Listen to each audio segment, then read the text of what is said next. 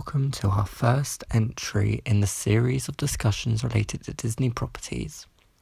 In this entry, we will be discussing whether or not the 2005 movie Robots, produced by Blue Sky Studios and distributed by 20th Century Fox, is transphobic. Robots may not have originally been a Disney film, but since Disney acquired 20th Century Fox in 2019, it counts as a Disney film. I feel it's also worth mentioning that although Disney owns 20th Century Fox Studios, it doesn't own Fox News. Disney acquired Fox's entertainment division, not its now separated news division. This means Disney is not connected to anything going on over there. That's not to say Disney isn't a company which hasn't done its own horrible things, such as its recent support towards the transphobic bills being promoted and implemented in Texas, which Disney CEO Bob Chapek has since apologized for. I, of course, don't support Disney's consistent queerphobic views, but I do support its many queer creators and employees and their allies who are fighting and challenging from within the company to change Disney's problematic relationship with the queer community. This is why I believe it's important to continue having discussions on their art and challenging it, like we will be doing with the film Robots. With that out of the way, let's begin. What is Robots about? If, like me, it has been a hot minute since you saw the movie Robots, I recommend you check it out and come back to this entry, or if not, let me give you a quick breakdown on what it's about. Spoilers for Robots to follow. Robots follows Rodney Copperbottom, played by Ewan McGregor, son of dishwasher Herb, played by Stanley Tucci, and Lydia, Dianne, we- Dianne Wiest. Rodney doesn't want to be a dishwasher like Herb, instead, he wants to be an inventor like his idol Big Weld, Mel Brooks, and moves to the creative named Robot City. Rodney, along with his invention Wonderbot, Chris Wedge, travel to Robot City in the hopes that presenting Wonderbot to Big Weld will make his dreams come true.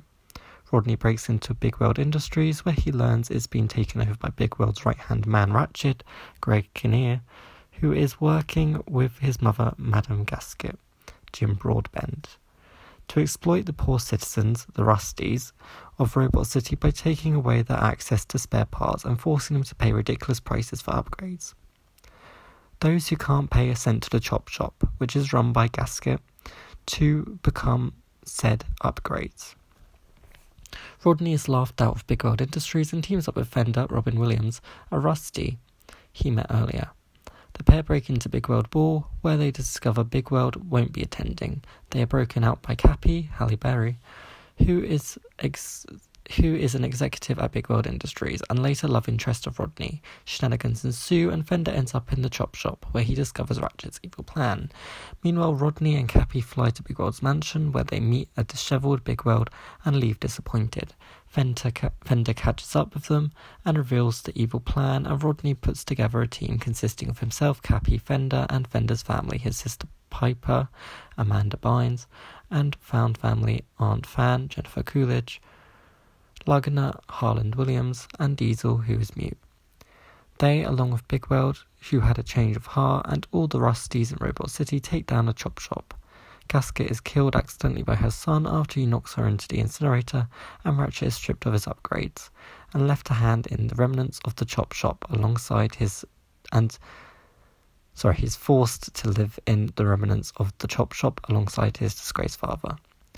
The rest of the cast live happily ever after, with Big Weld back in control of his company, Rodney being an inventor and coupled with Cappy, Fender coupled with Loretta Gear Grinder, played by Natasha Lyonne in the US and Cat Deeley in the UK.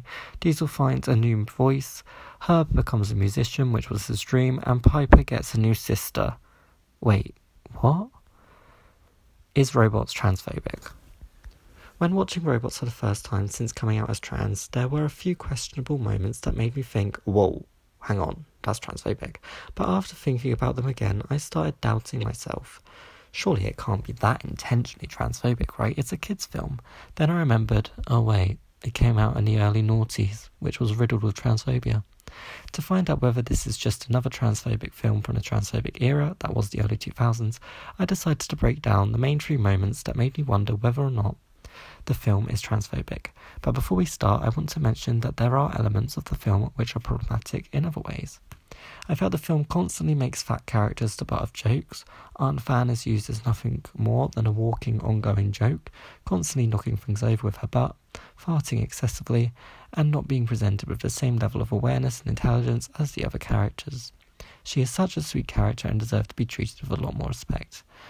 I'm not fat, so of course I can't talk about this from a perspective I don't have, but it's important that we, as allies, to fat individuals take the time to listen to fat individuals and learn how to spot potential fat phobia in media and real life.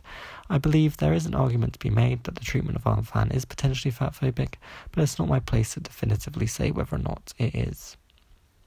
I also think elements of the film are ableist, specifically in relation to Diesel, who is presented as lacking an identity without his voice, and his entire personality being written around the fact he wants to have a voice, but isn't allowed one unless it's going to be used as entertainment for voluble individuals.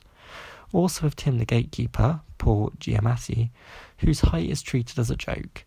And of course, don't get me started on the fact the entire film's plot revolves around the villains literally exercising their eugenic beliefs but at least is shown as being in the wrong. The film attempts to tackle the conversation about treating those less privileged than you with respect, but fails in so many areas. So that leads us to the question of whether or not the discussion or lack thereof of trans individuals is another one of those areas. To discuss this, here are the questions and points I want to put forward. Question 1. If baby Rodney was functioning perfectly fine and completely content without his extra part, why did they feel the need to force it on him and make him cry? Yep, we are starting right at the beginning of the film, right when Rodney is being made. Right after Rodney's baby form was completed, you see him happy and content. That is until his mother, Lydia, notices they missed a piece. Herb exclaims, We did want a boy, right, hun? And heads towards baby Rodney with a freaking mallet, promising this won't hurt a bit. The joke, if you didn't get it because it wasn't funny, is that Rodney's parents forgot to give him his penis. Because a penis is, of course, the defining factor of being a little boy. Not. Okay, so the joke wasn't funny, at least by today's standards, but was it transphobic? It definitely plays into the idea that the genitalia you have determines whether or not you are a boy or a girl baby. This belief is a transphobic one because genitalia has little to do with gender identity. It instead refers to sex, that is, whether or not a baby is male or female, but even then, sex is not a binary, which leads me to another type of prejudice the film displays. Robots is interphobic. Interphobia, if you didn't know, is the term used to describe prejudice against intersex individuals.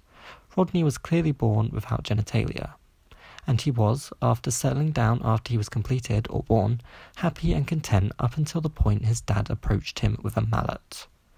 The scene has horrific interphobic undertones, whether intended to or not. Rodney is seen as defective or not complete as a boy until he has his extra part, and only upon receiving his extra part is he complete. The film makes it clear that robots don't reproduce sexually. We literally see the baby making process, and it involves a lot more hammering Anyway, we see the baby being made and it doesn't involve sex. So the extra part clearly doesn't have a role in sexual reproduction. We also have to ask the question of whether or not robots urinate. Some robots consume oil, like it's coffee, and they eat nuts and bolts, so they must produce some kind of waste, right? I posed this question to one of my friends, and he pointed out that they do oil changes instead of peeing or pooping, like a flesh being would. Such a situation would also not require the use of genitalia. So, what is the point of it? Why does Rodney need an extra part to be confirmed as a boy robot? If for nothing more than aesthetics, then it's literally worthless. He could happily exist without it. If it works as a kind of sensory feeler that gives you pleasure, then I can see why it has a purpose, but also surely that's something that he could add by his own choice when he's more grown up, right? What does a baby need that for? To answer this question, I believe that yes, the scene is transphobic because it plays on the cis normative views of gender and uses sex and gender identity interchangeably. But as a whole, I believe the scene is more interphobic, forcing a baby to have surgery it didn't need to fit societal expectations of what constitutes being a boy or girl. Many intersex babies are assigned as either male or female at birth, but they don't need to have unnecessary surgery to determine whether or not they are a boy. This form of mutilation is something the intersex community and its allies have been protesting against for years. His parents made it clear Rodney was a boy, even without his extra part. He certainly wasn't happy about getting it, and there was no need to force it on him, especially not under the guise of a joke. Mutilating babies is not funny. Question 2. What was the point of the second hand me downs moment? As Rodney grows up, his body naturally needs updating to match his age. His family isn't making much money, and his parents can't afford to buy him new parts, so they need to rely on hand me downs. First, he receives hand me downs from his cousin Jeffrey, which are noticeably too big for him. That's fine, it's also relatable. I myself had to have hand me downs growing up, albeit with clothes and not body parts. But the second hand me downs moment, was it necessary? As Rodney is going into high school, he receives his 12 year old parts from his cousin Veronica. This isn't a problem necessarily, we've already established Rodney needs hand me downs. What I do have problems with are the comments being made about Rodney's hand me downs from Veronica. Lydia says, You know how popular she is, and Wonderbot wolf whistles. These comments and reactions to Veronica's old parts are actually really creepy. These are the parts of a 12 year old girl. We don't need these kinds of comments. They're essentially sexualizing a child, which is disgusting. But are the comments also transphobic? At face value, I wouldn't say the situation is a particularly transphobic one. In fact, it's the opposite. Rodney's parents have no issue giving their son hand me downs from a girl. That's pretty inclusive in my eyes. The problem, though, comes from the way the characters react to the hand me downs. They're treated like a joke. Rodney is visibly uncomfortable with the comments about the hand me downs, and it's supposed to be funny. I don't see what's so funny about a boy receiving hand me downs from a girl. At no point do they claim Rodney is a girl, just because he has parts that come from a girl. He is still clearly a boy. I don't think it's transphobic, but I also don't think the scene was necessary. It lasts for a few seconds and it adds nothing to the story. There are better ways to refer to the awkwardness of puberty in my eyes if that's what they are going for. Better ways than sexualizing body parts and treating breasts as a joke. Question 3 Is Fender trans? This is something I've seen a lot, especially within the trans community. First off, if you're trans and you see Fender as a trans individual, I completely support your view. But even if Fender is trans, is the way his transness is being depicted transphobic? Before we get into that, we need to answer another question. What the heck is going on with the clothes situation? As the Big Weld at the Big Weld ball, Rodney and Fender wear fabric clothes, proving that fabric exists in this world, and implying all metallic components of a robot are part of his body. So does this mean any dresses or skirts we see which are metal are part of the robot's body? This is something we need to ask because the whole argument that Fender is trans stems from the moment he ends up with a metal skirt and new coily hair. After which his sister Piper pipes up that she now has a sister. I need to make it clear clothes nor body parts determine if you are trans or not. Fender having a skirt does not necessarily make him trans. If the body parts of robots, which we know can change to determine their gender, then that means Rodney would also have been trans when he received Veronica's hand me downs. I personally don't believe Fender is trans, he is simply just a man who wears a skirt. This is also what I believe the creators intended. He never refers to himself as being a different gender, that doesn't mean you're wrong if you think of him as being trans. I can definitely see elements of his character which do remind me of my own experience as a trans individual. It's also clear he's confident in his new look, and who are we to tell him he doesn't look good?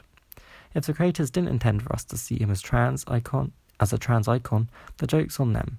Because if he is a trans, if he if he is trans, sorry, then that means he ends up in a sapphic relationship with Loretta, and we love to see queer women on our screens. But with this all said, is it transphobic? Yes. The joke is, if you didn't get it because it wasn't funny, is that Fender is a woman now because he has a skirt. You see, it's supposed to be funny because he's a man, and now he's wearing a skirt, so now he's a woman because men don't wear skirts. it's hilarious. Not. No, this is 100% transphobic rhetoric. So, to conclude this discussion, yes, robots is transphobic in a couple of places. Does that mean the film as a whole is transphobic? Probably not. There are plenty of films out there which have transphobic elements but aren't inherently transphobic as a whole. What I believe has happened here is that Robots is a victim of early 2000s casual transphobia. This type of gender mockery was com- commonplace everywhere in the noughties. It was so common that most just didn't think twice about it. That doesn't mean it's not wrong, or that there weren't those fighting for it to be stopped. I think if we remove the transphobic elements of the film I mentioned, the film would hold strong on its own. It would still have many problematic elements, and I'm not saying it's a morally good film, but looking at the wider image, No Robots is not transphobic. It is, however, a film with transphobic elements. With many problematic elements, it may be 17 years old, but we still need to have these discussions, especially with our children. Let me know your thoughts about robots in the comments. Also, let me know what Disney discussions you'd like to see next.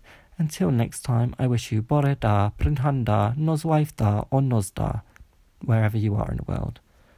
Bye.